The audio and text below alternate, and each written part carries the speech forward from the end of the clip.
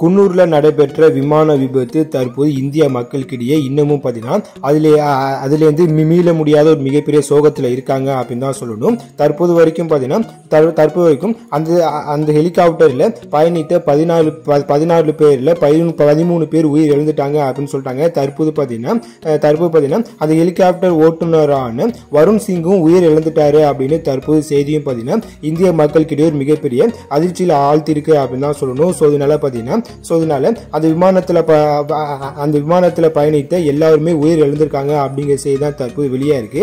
இதற்கு பார்த்தீங்கன்னா அந்த ஹெலிகாப்டர் எப்படி விபத்து ஆனிச்சு அப்படின்னு தற்போது வரைக்கும் பார்த்தீங்கன்னா ஆய்வுகள் எல்லாமே போயிட்டு இருக்கு அப்படின்னு சொல்லியிருக்காங்க. முக்கியமாக பார்த்தீங்கன்னா கருப்பு பெட்டியை தற்போது ஆய்வுகள் எல்லாமே பண்ணிட்டு இருக்கோம் உடனே பார்த்தீங்கன்னா கருப்பு பெட்டியில் என்னென்ன இருக்கு அப்படின்னு உடனே சொல்ல முடியாது. இன்னும் ஒரு மூணுலேருந்து ஐந்து நாட்கள் ஆ- ஆய்வுகள் எல்லாமே செய்யணும் அப்படின்னு ராணுவ அதிகாரிகள் எல்லாமே சொல்லியிருக்காங்க. தற்போது வரைக்கும் பார்த்தீங்கன்னா வானிலை காரணமாக தான் ஹெலிகாப்டர் விபத்து ஆயிருக்கு அப்படின்ற மாதிரி செய்தி தற்போது வெளியாயிட்டு இருக்கு அதே போல பார்த்தீங்கன்னா ஹெலிகாப்டர்ல பார்த்தீங்கன்னா தற்போது இவ்வளோ பெரிய விபத்து அந்த ஹெலிகாப்டர்ல நடக்க வாய்ப்பில்லை அப்படின்ற மாதிரி செய்தி வருது. ஸோ அதனால அதற்கான ஆய்வும் தற்போது போயிட்டு இருக்கு அப்படின்னு சொல்லியிருக்காங்க. ஸோ அதனால பார்த்தீங்கன்னா தற்போது தமிழ்நாட்டில் உள்ள குன்னூரில் நடைபெற்ற அந்த விமான விபத்தில் பயணித்த எல்லாரும் தற்போது உயிர் எழுந்திருக்காங்க அப்படிங்கிற அப்படிங்கிற அதிர்ச்சியான செய்தி தான் தற்போது வெளியாக இருக்கு இந்த வீடியோ பற்றின உங்க கருத்தை கீழே கமால சொல்லுங்க. இது போன்ற செய்திகள் எல்லாம் நீங்க தெரிஞ்சுக்கணும் அப்படின்னா சப்ஸ்கிரைப் பண்ணுங்க. நன்றி ஃப்ரெண்ட்ஸ்